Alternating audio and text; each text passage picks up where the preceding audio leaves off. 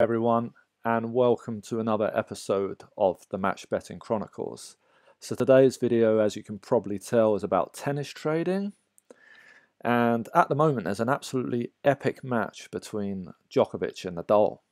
Nadal was won the first set, and then he actually broke Djokovic in the second set, I believe, but Djokovic has fought back to win the second set. So at one set all, I decided to lay Djokovic with a hundred pound and take seventy eight pounds risk. Um, and I did this because Nadal's favourite service is the, the surface is the French, and I just thought he's he's got a decent chance here.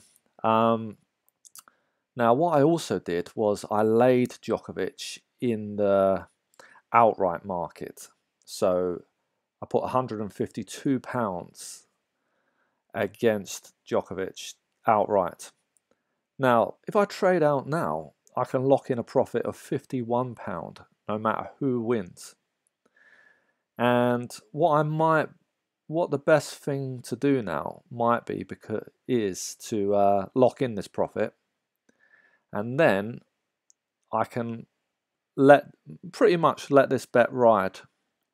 Because Nadal has just won the third set he's up a set but this match could still go either way. Every game looks looks to be um, tough here. No one is holding their service easily at the moment so it's it's not impossible that Djokovic wins the next two sets. So if I was to lock in this uh, this profit here, then I'm not actually risking that much on this game. Maybe about 27 quid or something. Uh, but if I decide to do nothing, I could lose um, both these bets, the 78 pound today and eventually I could lose 215 on Djokovic if I left that. Because if Djokovic does win this match, then you'd expect him to uh, to win the whole tournament. Basically, I think the winner of this match probably wins the tournament. So um, yeah, I mean, I I just took my opportunity. I I wasn't around for the the whole of this match. By the time I got home today, it was it was almost time for the third set. So that's why I've managed to get in when when I did. But I just saw a couple of service games and it looks like a great match. Okay, so this match has now finished and I've made some decent profit, but I did not execute the plan of action that I was talking about. And I've been really lucky here because I've been really undisciplined. Um, and I've got to address the fact that in play trading, I'm not disciplined enough. The pre game trading market, I'm very, I do that very well and I'm really disciplined. But I think in play, when you watch the game, it can affect your your decisions, and I've got to get better at just locking in the profit because on another day I could have lost some big money here, and I'll, I'll show you what's happened.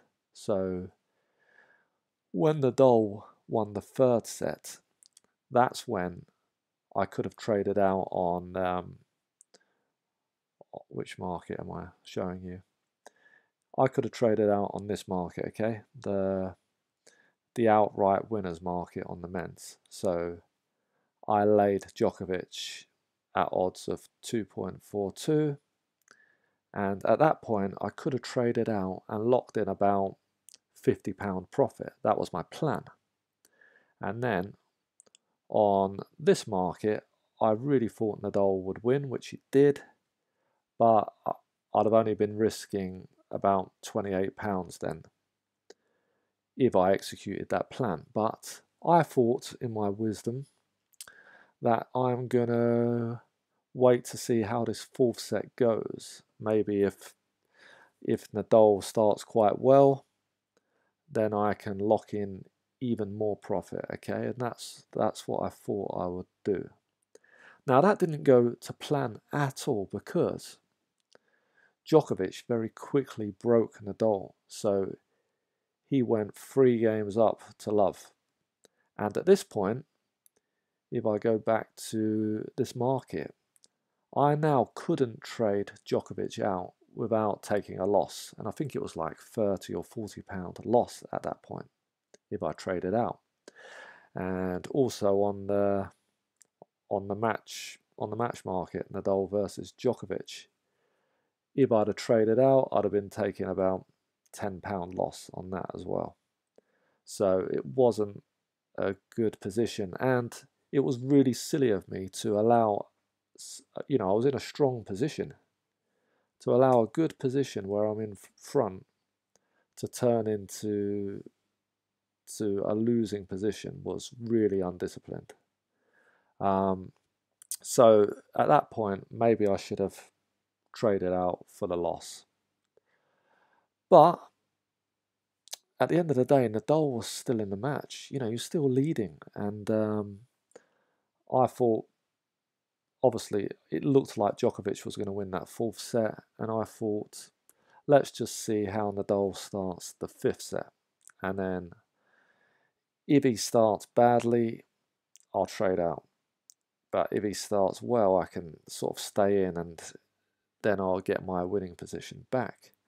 Now, in hindsight, that was that's a bit silly because say if Nadal, if Djokovic won this fourth set and then quickly broke Nadal again, I'd have had to trade out for quite a large loss, you know. And um, at one point, it was looking like that was going to happen. It looked like Djokovic was going to win this fourth set. Um, and I'm, I'm just kicking myself at this point. I'm thinking, why didn't you lock in your profit? I mean, what are you thinking? Djokovic is the best player in the world. Why don't you take the winning position rather than wait for him to come back? And then the other side of my brain's thinking, yeah, but Nadal is the, you know, he's the best on clay. That's why. So I'm fighting with myself here, but in the end, it, I just thought to myself, it seems like a gamble rather than trade at this point. You know, I did a good trade, I had a good plan of action, but then it's turned into a bit of a gamble, and that's not what this should be about. Um, anyway, luckily for me, Nadal broke Djokovic. Okay, so um, Djokovic was leading 5 3. All of a sudden, Nadal breaks him to make it 5 4. And now we're in a good position again. I can actually trade out for a little bit of profit. But once again, I don't take any action. I'm thinking, right, Nadal swung the momentum here. It looks like he's playing well. Um, we'll see if Nadal can hold his serve, which he does. And eventually it goes to a tiebreak. And again, I'm undisciplined because now I can trade out for quite a bit of profit. But if Djokovic wins that that tiebreak or starts well, then I'm back to square one. I'm I'm having to trade out for a loss again. So um, I was undisciplined, and you know, luckily for me, Nadal started very well in the tiebreak and I was able to trade out for, uh, I'll just show you what I did. Um, here we are. So I ended up trading out of this at odds of 78. You know, I, I laid Djokovic at 1.79 and I only needed to, in the end, put a pound on, pound 15 to trade out and lock in some, lock in 98 pound, 89, 85 profit. And on this market, the outright market, I traded out when Djokovic was odds of 40, just with £8.59 after I'd laid 152 stake.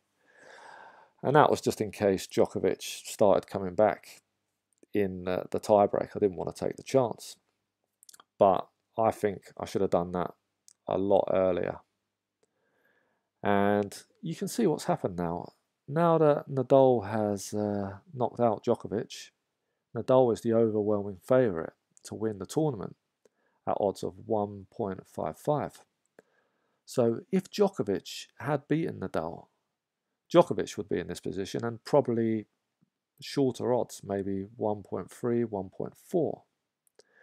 And I'd have been forced to trade out because, like I said earlier, whoever wins this match is probably going to win the tournament. So imagine, you know, I've, I've laid Djokovic at 2.42 and now I have to trade out at odds of 1.4. That's going to be a massive loss. And I can show you what that is with a 152 pound stake and lay odds of 2.42 I'd have had to back with a 262 pound stake and that would have guaranteed me a 110 pound 74 loss so that that's that's mad you know to to risk that I really should have been much more disciplined, and uh, that's that's something I've got to work on because um, I've got to get better at in-play trading. But like I said, you know, I'm I'm watching the match. Nadal looked very good. I mean, he he did lose. He did get broken early in the in the fourth set, but I felt he was unlucky, and I think that affected my decision making.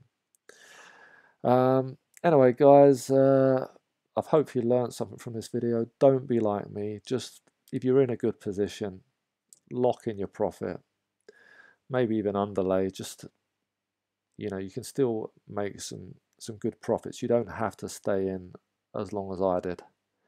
Um, at the end of the day, I've come out of this with what about 240 pound profit um, because yeah, on on this market it's already settled. I've I've got 143 pound 42. Whoever wins the tournament now. Um, but if I was disciplined, that figure would have been about 50 pound, and this figure here would have, you know, I'd have stayed in. It would have been 98 pound 84. Still decent profit, and a lot less heartache. You know, I was I was sweating a bit during during that match, and there was really no need could have had an easier ride and got £90 less profit, but would have been much safer. So hopefully that's a lesson for you guys and hopefully it's a, a lesson for me as well to improve my in-play trading. Anyway, um, let me know your thoughts on that and uh, thanks very much for listening.